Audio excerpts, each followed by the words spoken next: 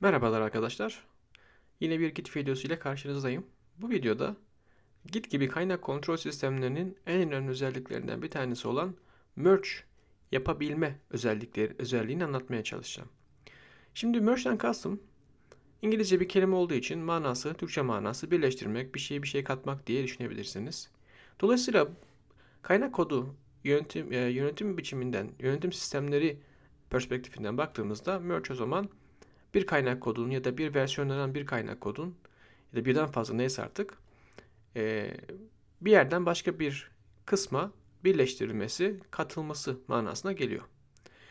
Burada kaynak olarak daha doğrusu source ve target olarak baktığımız iki e, lokasyon birer commit olabilir ya da birer branch branch'in gösterdiği bir commit olabilir ya da bir tag'in gösterdiği bir commit olabilir fark etmez.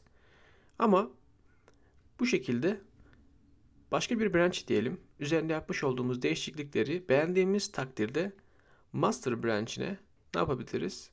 Getirebiliriz. Şimdi iki tane özellik var. iki yöntem var. Gitti. Bir tanesi rebase. Diğeri de merge diye geçiyor. Bu videoda rebase'den bahsetmeyeceğim. Onu ayrı bir video olarak çekeceğim. Ama merge meselesi ise kendi içinde arkadaşlar iki şekilde meydana geliyor. Bir tanesi fast forward denen bir yöntem. Diğeri de bilinen traditional merge işlemi. Şimdi öncelikle bunları denemeye, bir, bir yapmaya çalışalım. Şimdi ben mesela şu an bir tane e, Git repository'm var. Görüyorsunuz experimental diye bir branch'im var. Onun yanında origin master ve master diye ayrı branch'lerim de var. Ve hepsi daha doğrusu hepsi aynı commit'e bakıyor ve head ile head ile de beraber hepsi aynı commit'e bakıyor. Şimdi burada bir git ss diyelim ve benim burada eklemiş olduğum iki tane dosya var. Bunları silmek istiyorum. Bunlar şu an iş, işim yok. Ee, txt yeni bir dosya Şimdi şöyle bakalım. Tamam. Şimdi buraya yeni bir dosya eklemek istiyorum. Ve bunu experimental branch'i üzerinden devam ettirmek istiyorum. Çünkü git branch baktığımda şu an experimental branch içerisindeyim. Master branch içerisinde değilim. Dolayısıyla cat komutunu kullanabilirsiniz. Unix ve Linux işletim sistemlerinde diyelim ki yeni bir yeni dosya .txt diyorsunuz. Buraya işte merhabalar dünya yazıyor. Sonra mesela buna yeni bir dosya ile baktığınızda merhabalar dünyanın içinde eklenmiş olduğunu görüyorsunuz. Şimdi bunu arkadaşlar git commit ile daha doğrusu bir ss ss arkadaşlar status s status s diye yani short diye bir commit'in ben kısalttığım bir commit. E, bunu nasıl yaptığımı git alias ile alakalı anlattığım yaptığım videoyu izleyerek görebilirsiniz. Ondan sonra yeni bir dosya şu an takip edilmiyor. Bunu git et ile takip etmeye başlayabilirim. Şimdi dediğimde görüyorsunuz E, e komutu yeşil oldu. E harfi yeşil oldu ve bunun takip edildiğini stage area'ya eklendiğini görüyoruz. Bundan sonra commit ile yeni bir dosya ekledim mantığıyla bakabiliriz. Şöyle bir SS'e bakıyorum gitti. LAGD komutunu yani çalıştırıyorum ve bu sefer e, ilerletilen branch'imin experimental branch olduğunu, master ve origin master'ın geride kaldığını gördük. Bir tane daha değişiklik yapalım ve biraz daha meseleyi hani daha aradaki farkı biraz daha e, açmış olalım. Yine aynı şekilde cat ile yeni bir dosya isimli şey birkaç eklemelerde bulunacağım. Ondan sonra işte bunu değiştirelim. Diyorum ki önceki yazdığımız teksti beğenmedik. Buraya bir şeyler yazdık. Şimdi arkadaşlar şöyle bir e, commit am diye şey yapmak zorunda değilsiniz. Add demek zorunda değilsiniz. Eğer o takip edilen bir dosyayı eklemeye çalışıyorsanız, commit etmeye çalışıyorsanız am komutunu kullanabilirsiniz. am all demek, daha pardon, am add demek e, direkt add komutunu es geçmiş oluyorsunuz. E opsiyonunu kullanarak commit e, komutunda. Medreseden mesaj, mesaj hangi mesajı girmek istiyorsunuz? İşte bir şeyler diyelim. Şimdi Yine şöyle bir bakıyorum ve görmüş olduğunuz gibi biraz da experimental branch ile diğer branchler arası açıldı. Şimdi experimental branch'te diyelim ki yaptığım şeyleri beğendim, sevdim ve bunu master branch içerisine merge etmek istiyorum. Şimdi arkadaşlar bunu şöyle yapabilirsiniz. Git checkout der ve master içine önce bir gidersiniz. Şu an master branch içerisindeyim.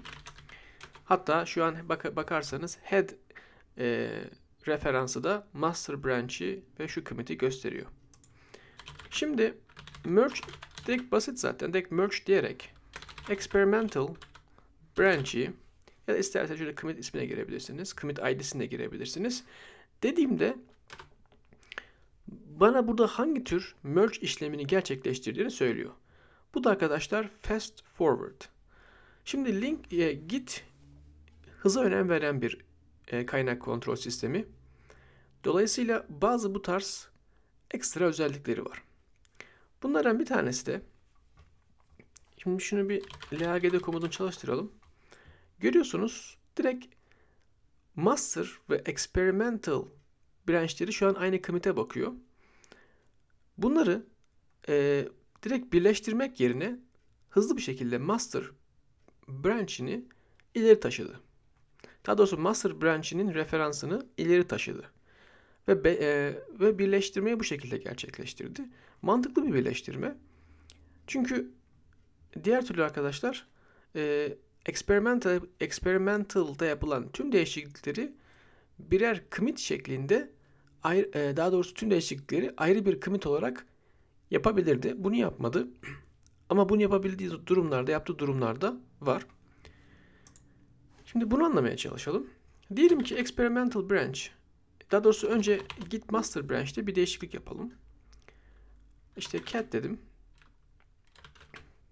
Ee, vesaire nokta text deneme. Şimdi bunu add ile ekleyelim. Sonra get commit ile commit edelim. Vesaire eklendi. Sonra şöyle bir git lagd ile bakalım. Tamam. Şimdi git checkout ile experimental branch'ime geri döneyim. Şöyle bakıyorsunuz. Ve burada da arkadaşlar yine cat ile e, bir şeyler diyelim. İşte bir şeyler eklendi vesaire. Şimdi bunu da add ile experiment branch içerisine koyuyorum. Ee, bir şeyler vesaire neyse. Şimdi arkadaşlar get lagd ile baktığımda buradaki değişimin diğer e, önceki örneğimizdeki değişimden farklı olduğunu görüyorsunuz. Çünkü hem master'a bu sefer ve hem de experimental'a ayrı ayrı commitler yani şu ayrışma gerçekleştikten sonra iki branch'e de farklı commitler yapılmış. Dolayısıyla direkt bu sefer fast forward yapma durumu tehlikeye giriyor. Önceki hale baktığınızda direkt lineer bir değişim vardı. Master'a experiment e, bu ayrışmadan sonra yani experimental branch oluşturulduktan sonra yeni bir şey eklenmediği için herhangi bir conflict oluşma durumu yoktu. Conflict nedir arkadaşlar? Bunu çatışma olarak düşünebilirsiniz. Nedir? Neyin çatışması var burada? İki farklı branch aynı dosyada benzer yerlere değişiklikler ekleyebilirler. Dolayısıyla hangi değişikliğin e, esas alınması gerektiğini merge işlemi sırasında size git ve buna benzer e, kaynak kontrol sistemleri conflict göstererek soruyorlar. Yani cümleyi biraz daha basitleştirirsek size bunu merge ederken git size şunu soruyor. Aynı dosya içerisinde farklı branchlerde değişiklik yapılmış. Ben bunu e, birleştiremiyorum. Ne yapmamı istersin? İstersen sadece master'daki değişikliği al. İstersen experimental branch'indeki değişikliği al. İstersen ikisini de alt alta ekle. Sana bunu soruyor. Ne yapmamız, ne, yapma, ne yapmak istediğini soruyor ve sana bunu resolve etmeni, yani çözmeni istiyor senden bunu. Dolayısıyla fast forward'da böyle bir konflikt oluşmuyor.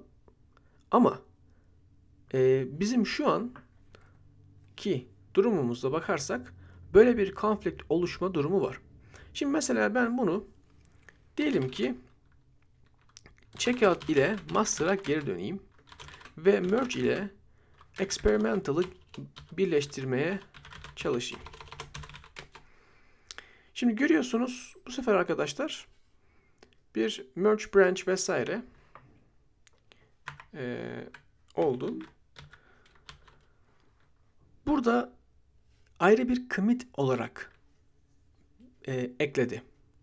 Bakın önemli fast forward değil ayrı bir commit olarak iki branch'in değişimlerini birleştirdi. Ve bunu master'a commit etti. Şimdi tabii benden burada hani bir mesaj yazmamı istiyor. Ben bir şey yazmadım. Direkt otomatik olarak kendi template'dan gelen işte merge branch experimental'da bir mesajı var. Ben bunu kabul etmek istiyorum. Ee, işte e, Q yazıyorsunuz buraya. Yanlış çıkma desem. Şimdi arkadaşlar görüyorsunuz bu sefer önceki hale bakarak bir lineer bir değişim burada yok. Görüyorsunuz burada bir ayrışma meydana geldi ve bu ayrışma ayrı bir commit içerisinde hem master'dan hem de experimental'dan gelen değişimler birleştirilmiş oldu. Bu tabii ki biraz daha e, zahmetli bir proses. Ben şu an belki bir tane dosya birleştiriyorum ama bazen oluyor yüzlerce dosya bir commit içeri bir branch'ten geliyor. Yeni dosya, yeni değişiklikler ve bunu master branch'ine merge etmeye çalışıyorsunuz. Yani git de bulabildiği, yapabildiği müddetçe hızı arttırmak, performans arttırmak için bazı teknikler uyguluyor. Bunlardan bir tanesi işte anlattığım fast forward'tı. Ama bu durumda tabii ki e, şu an bir konflikt oluşmadı. Konflikt ne zaman oluşurdu? Eğer aynı dosyayı, aynı dosyaları ve e, aynı yerlerini arkadaşlar değişti yani benzer yerleri değiştirmiş olsaydım ve bunu git merge edemeseydi otomatik olarak. Çünkü eğer git bunu merge ederse kaynak kodumu bozabilir. Hangisini seçmesi gerektiğini bilmiyor. Ee, burada mesele sadece tarihte değil. Bizim Git'e spesifik olarak hangi seçeneği, hangi kodu kullanması gerektiğini söyleyerek sistemin tutarlılığını bozmamamız gerekiyor. Merge meselesi bu. Çok da zor bir şey değil. Ee, eğer merge ile alakalı detaylı bilgi almak isterseniz help her zaman karşımıza opsiyonları çıkarıyor. Ve burada görmüş olduğunuz bazı açıklamalarda var. Ondan sonra e, işte burada e, burada şey var mesela arkadaşlar. E, commit meselesi var. Eğer commit etmesini istemezseniz, şimdi otomatik olarak demin commit ettiğini gördünüz merge yaptıktan sonra. Eğer bunun commit etmesini istemez, hani son bir defa bir daha bakayım herhangi bir sıkıntı var mı diye emin olmak istiyorsanız no commit özelliğini kullanabilirsiniz. Şöyle biraz daha inceleyelim. Burada mesela e, FF var, fast forward. When the merge resolves as a fast forward, only update the branch pointer without creating a merge commit. This is the default behavior. İsterseniz e, hani spesifik olarak FF yani fast forward diyebiliyorsunuz ama zaten bunu demezseniz de default behavior yani default davranışı Git'in bu. Onun için mesela ilk örnekte biz FF yazmadığımız halde otomatik olarak bunun bir fast forward olacağını bildiği için e, bunu fast forward olarak yaptı. Ama diyorsanız ki ben kesinlikle fast forward istemiyorum. Ne olursa olsun bunu ayrı bir commit olarak yapmasını istiyorum. O zaman da no ff e, no fast forward opsiyonunu kullanabiliyorsunuz. E, yine aynı şekilde ff only var. E, bu da arkadaşlar bir nevi her zaman ff olsun istiyorsunuz. Fast forward. E, bu da ayrı bir şey karşımıza çıkıyor. Burada summary var. Ee, bu, bu herhalde deprecate oluyormuş. Ondan sonra işte burada arkadaşlar log görebiliyorsunuz. Çok fazla bir opsiyon yok açıkçası. Zaten çok da ekstra fazla bir opsiyona gerek var mı o da tartışılır gerek de yok. Ee, burada arkadaşlar farklı merge stratejileri var. Bu biraz daha gelişmiş e, merge kavramlarına giriyor. Ama burada farklı stratejiler söyleyerek merge işleminin nasıl gerçekleşmesini istediğinizi söyleyebiliyorsunuz. Ondan sonra yine quite olay var. Herhangi bir şey göstermeden direkt merge ediyor ve bitiriyor. Herhangi fazla öyle mesaj ya da ne bileyim uzun uzun işte şunu merge ettim şu şöyle oldu falan demesini istemiyorsanız kullanabileceğiniz bir opsiyon. Ee, ondan sonra mesela abort varmış arkadaşlar. Ben çok kullanmadım bunu da. Ne diyor? Abort the current conflict resolution process and try to reconstruct the pre-merge state. Zaten açıklaması burada belli. Açıklamaya çok gerek yok. Burada e, merge işlemini yapmadan önce bazı checkler yaptığını söylüyor. Bunları burada anlatıyor. Ondan sonra fast forward merge'in ne olduğunu burada anlatıyor. Ee, true merge dediği arkadaşlar onu anlatıyor burada. İşte bizim en son yaptığımız gerçek bir merge'tü. Diğeri fast forward merge olarak geçiyor. Ondan sonra e, konfliklerin nasıl size gösterildiğini anlatıyor. Burada bir template var. Diyor ki mesela işte e, bu taraf işte ne bileyim e, sizin içinde bulunduğunuz branch bu taraf birleştir yani copy, e, birleştirmeye çalıştığınız tar, e, source branch gibi bunları nasıl anlat yapacağınızı teker teker anlatıyor. Ben genelde e, bu visual tool'lar oluyor. GUI'ye sahip tool'lar. Bunları tercih ediyorum. E, bunlar hakkında da burada detaylı bilgiler eminim vardır. Burada baya baya bir opsiyon var. Burada yine konfigürasyonları görebiliyorsunuz. Ne tür konfigürasyonlar yapabileceğinizi görüyorsunuz. E, bunlar arkadaşlar global ya da local konfigürasyonlarda belli e, yazabiliyorsunuz, ayarlayabiliyorsunuz. Dolayısıyla devamlı bunları opsiyon olarak merge kom, komutuna göndermek yerine sadece konfigürasyonda ayarlayıp bir defa ayarladıktan sonra otomatik olarak bunlar sizin adınıza kullanılıyor. Burada farklı merge tool'ları var. Bu BC kullanıyorum ben. E, Beyond Compare diye geçiyor. E, bu bence gayet güzel bir tool. Bu tool'u kullanarak e, demin dediğim gibi bir GUI ile e, merge işleminizi gerçekleştirebilirsiniz. E, diff görüyorsunuz mesela. Bunları daha önce kullandıysanız, kullanmadıysanız bu videoda göstermeyeceğim. Çünkü ayrı bir konu. E, onun dışında arkadaşlar herhalde bu kadar. Evet, umarım faydalı bir video olmuştur. E, bir sonraki Git videomda görüşmek üzere. Esenlikle kalın.